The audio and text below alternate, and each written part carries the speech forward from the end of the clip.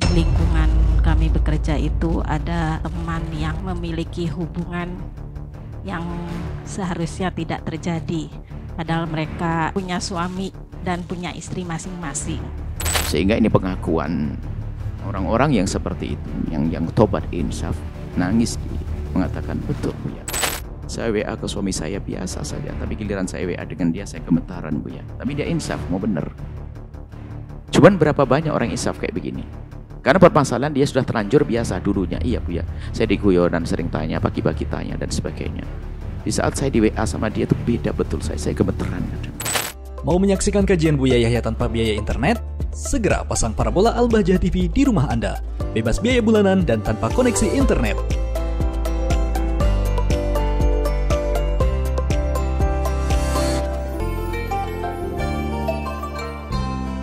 Bismillahirrahmanirrahim. Assalamualaikum warahmatullahi wabarakatuh. Waalaikumsalam warahmatullahi wabarakatuh. Allahumma sholli ala sayyidina Muhammad. Sallallahu alaihi wasallam. Buya, saya izin bertanya. Saya kebetulan bekerja di salah satu instansi. Eh, cuman di lingkungan kami bekerja itu ada ada teman yang apa ya memiliki hubungan yang seharusnya tidak terjadi. Padahal mereka suami istri. Sudah Eh, punya suami maksudnya mereka punya suami dan punya istri masing-masing. Jadi kami itu eh, merasa tidak nyaman, cuman tidak berani menegur juga gitu, karena berpikir mereka sudah pada dewasa gitu. Dan kebetulan ada saudaranya juga sudah menegur, malah terjadi perselisihan gitu. Apa yang harus kami lakukan terhadap sikap pasangan yang tidak baik karena jujur untuk kami dan kawan-kawan yang melihatnya eh, pasangan mesum model begitu eh, sangat mengganggu kinerja kami di tempat pekerjaan itu. Terima kasih Bu ya. Assalamualaikum warahmatullahi Waalaikumsalam. Yang pertama dan utama di saat kita melihat hal yang semacam itu adalah di hati kita. Harus ada ingkar. Sebab bahaya sekali kalau yang demikian itu menjadi sebuah kebiasaan. Naudzubillah. Kebiasaan yang tidak baik di kantor. Sehingga sudah naudzubillah. Sudah bukan kebiasaan islami lagi. Ingkar itu hal yang tidak baik. Kemudian Anda ikuti dengan panjatan doa. Semoga Allah memberikan hidayah dan seterusnya. Sehingga panjatan doa dan ingkar Anda ini paling paling penting jadi paling pertama dan utama akan menjadi benteng bagi Anda untuk tidak terjerumus dalam kejadian yang serupa. Satu. Yang kedua adalah ini yang kedua. Kita semua belajar apa sih menjadi sebab orang terjerumus dengan dunia. Biasa ngendengin, suka guyonan dan sebagainya. Maka jangan biasa guyonan dengan lawan jenis, apalagi mohon maaf ya. Kalau tiba-tiba ada ada bisikan setan ada. Kemudian tiba-tiba rasa menikmati, berdiskusi, komunikasi. Sehingga ini pengakuan orang-orang yang seperti itu, yang yang tobat insaf, nangis di mengatakan betul Bu ya. Saya WA ke suami saya biasa saja, tapi giliran saya WA dengan dia saya gemetaran Bu ya. Tapi dia insaf, mau bener. Cuman berapa banyak orang insaf kayak begini? Karena permasalahan dia sudah terlanjur biasa dulunya. Iya Bu ya, saya diguyonan sering tanya, pagi-pagi tanya dan sebagainya. Di saat saya di WA sama dia itu beda betul saya. Saya gemeteran kadang. Lihat. Seperti itu. Padahal belum tentu laki-lakinya juga gemeteran ibaratnya. Belum tentu. Karena memang namanya rasa kadang sebelah pihak. Kadang di pihak laki-lakinya perempuannya main-main. Memang haram haram hati-hati. Jangan Anda biasa main-main semacam itu. Na'udzubillah. Mungkin ada seorang laki-laki hanya iseng saja. Tiba-tiba oleh perempuan itu ditangkap dengan benar. Berarti kita menyiksa orang dia. Sehingga menjadi berubah dia dengan suaminya. Kita punya andil dalam menghancurkan rumah tangga. Ayo. Apakah Allah tidak tahu? Allah tahu akan Allah hancurkan dirimu nanti. Dan rusak rumah tangga orang. Rumah tangga orang. Mula-mula mungkin seorang laki-laki hanya iseng saja. Eh, eh. Rupanya selama ini rupanya mendahului suaminya. Suami saya, suami saya aja belum WA. Eh dia sudah tanya. Mulai ada ketersusunaan bagi seorang wanita yang menggersang hatinya selama ini tidak pernah mendapatkan, mendapatkan sentuhan. Sehingga di saat disapa sedikit sudah terkena. Makanya hati-hati juga Anda sebagai seorang laki-laki.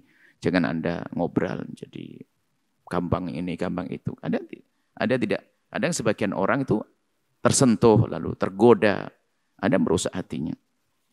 Merusak hati seseorang. Sehingga menjadi ini yang pertama jadi keretakan. Dia sudah nggak mesra. Mungkin gak, sudah biasa nggak hubungan dengan suaminya karena sudah punya yang baru lagi. Nauzubillah. Dan itu akan berkembang mulai dari WA, berjumpa, WA. WA-nya pun pertama masih malu-malu. Sehingga sudah ngomong mulai jorok dan sebagainya. Terus. Dan di saat komunikasi dia berani macam-macam karena belum ketemu. Padahal kalau bertemu langsung nggak akan berani melakukan apa-apa. Cuma kan dilatih dengan komunikasi. Maka komunikasi sudah berlatih. Berlatih untuk tidak malu di saat bertemu. Maka terjadi persediaan dari situ.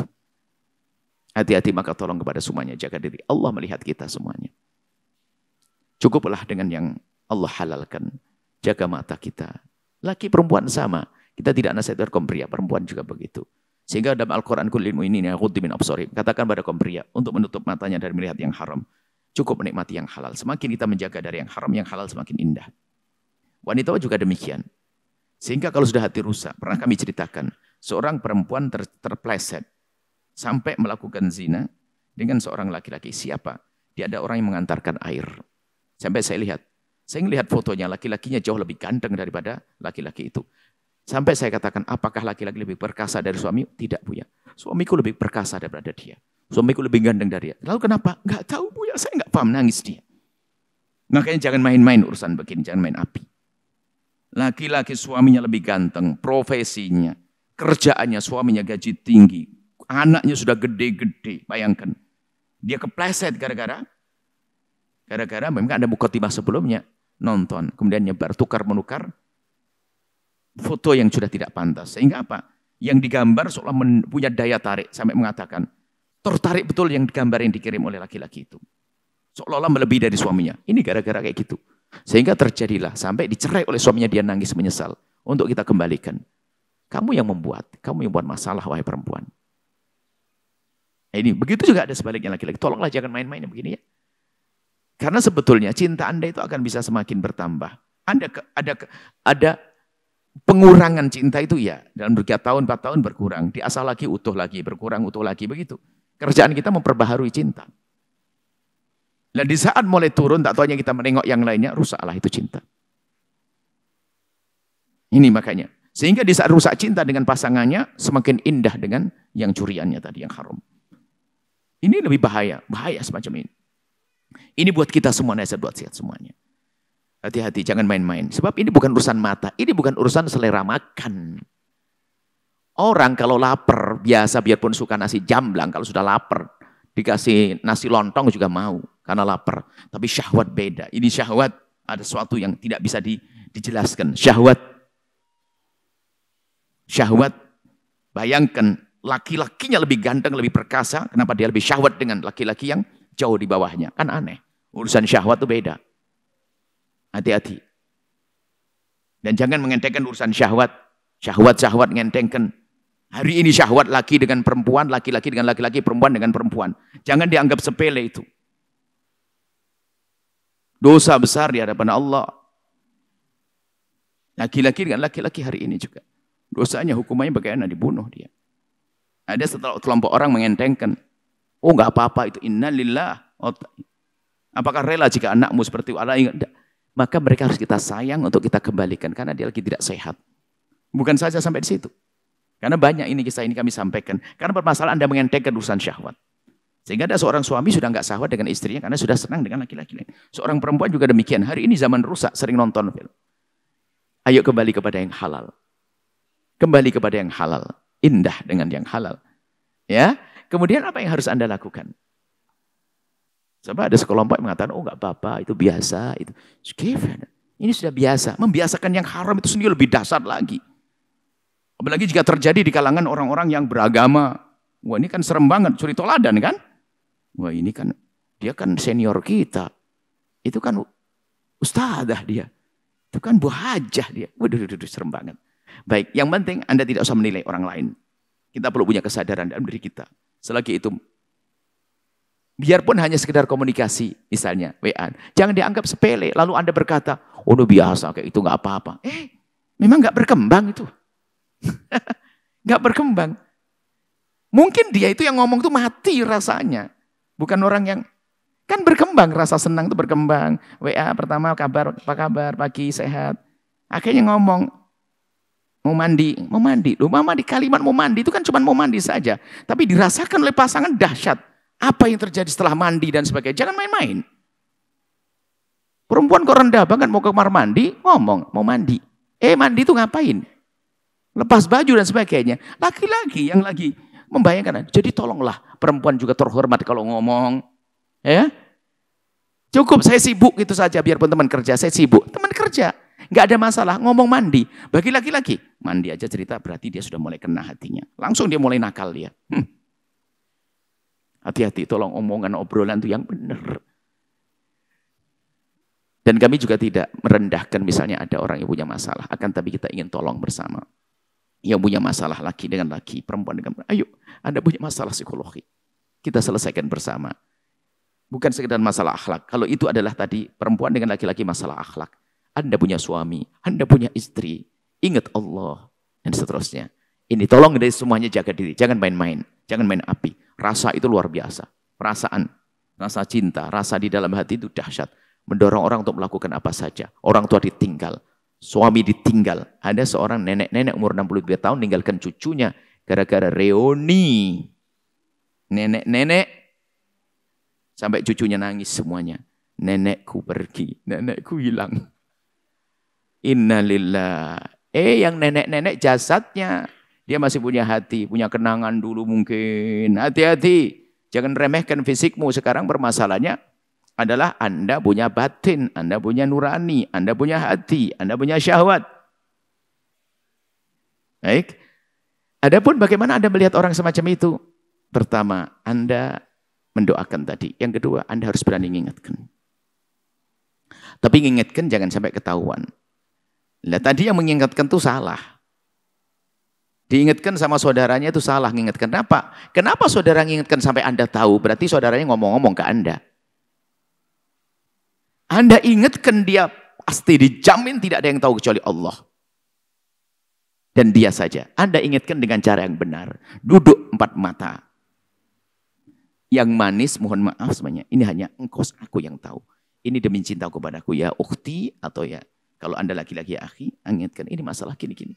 Yang baik, suasana enak, makan bakso bareng yang es es teh begitu biar dingin semuanya. Tuh. Ngomong yang enak dan jamin tidak ada yang tahu. Dan anda nggak perlu cerita ke siapa pun. Ini masalah eh masalah pribadi. Kalau sudah anda ingatkan, anda ulang lagi. Kalau ternyata reaksinya marah, baru Anda bilang ke atasannya, suruh kasih ketegasan. Berarti jangan langsung ke atasan. Karena ini kelingkungan. Kalau dibiarkan akan jadi sebuah tradisi. Yang jadi masalah langsung. Oh ini, ya kan? Diselesaikan dulu di sini. Karena biasa di benalu. Bisa saja sama atasannya akan dibuang. Karena apa? Atasannya soleh. Nggak boleh ada tradisi jelek di sini.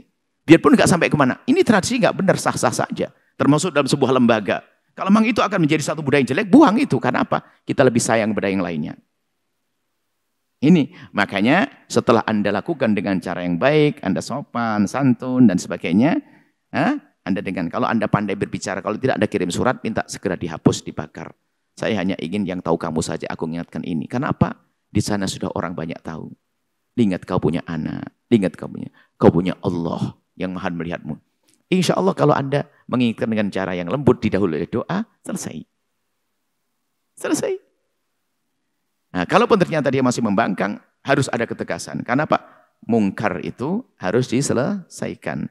Makanya semua yang amar ma'ruf nahi mungkar yang teriak-teriak itu. Kalau langsung teriak-teriak itu salah.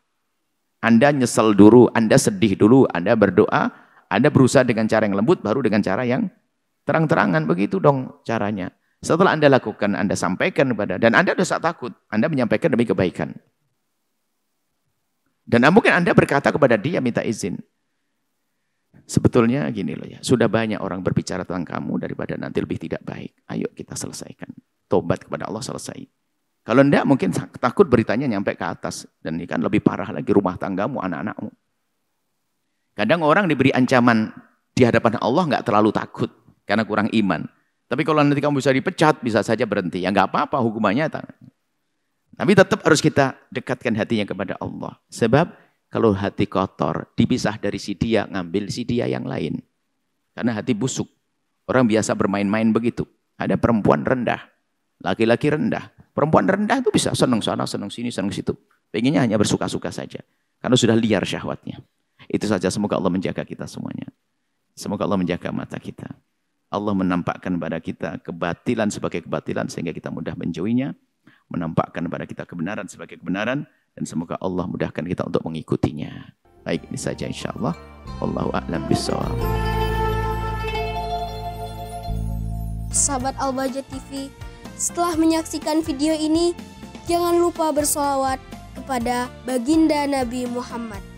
Sallu ala Nabi Muhammad. Allahumma sholli alaihi wa ala alihi wa sahbihi.